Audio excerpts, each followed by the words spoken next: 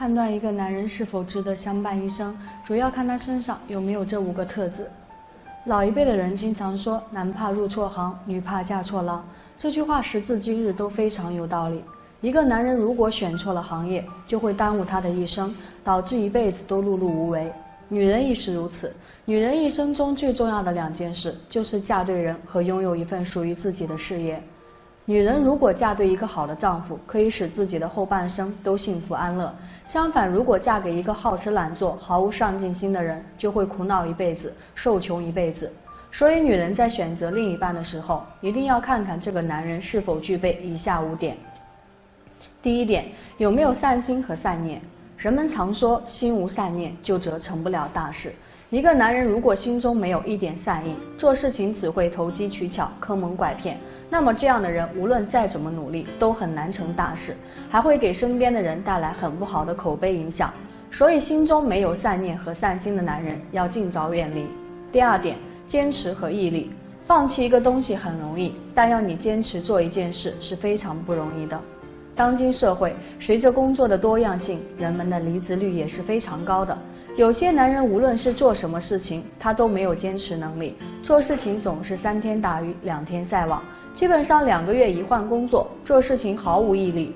这种人会经常给自己找借口，一遇到困难，第一时间想的不是如何去解决，而是选择逃避。殊不知这种做法是非常可悲的，因为当你频繁换工作时，你就会挑花了眼，久而久之，即使有好的工作，你也把握不住。第三点，能够良好的经营好同事之间的关系和家里亲人的关系。随着社会的变革，婆媳关系变得越来越紧张。会做人的男人会把婆媳关系处理得非常好，也会把身边朋友的关系处理得非常好。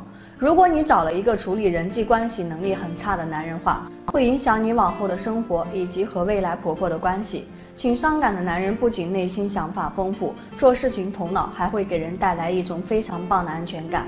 第四点，遇事情讲道理，不乱发脾气。在生活中会遇到很多挫折与困难，有些困难是因我们而起，但也是有些突发情况。所以做人不要怕遇到困难，就怕遇到困难不知道该如何解决。如果你现在的另一半没有一点解决问题的能力，那么相信你以后的日子也是非常难过。其二，遇到脾气大的男朋友要尽早远离，因为这种人无论你对他再好，他都不念旧情，甚至还会做出伤害你的事。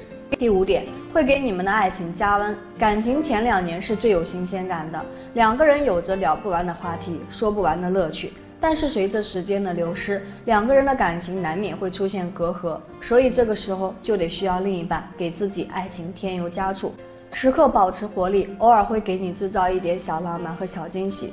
反之，如果自己的另一半只知道工作挣钱，不懂得经营你们的爱情和生活，那么你们婚后生活一定很无趣。说到这，你还不赶快去看自己的男票是否具备这一点？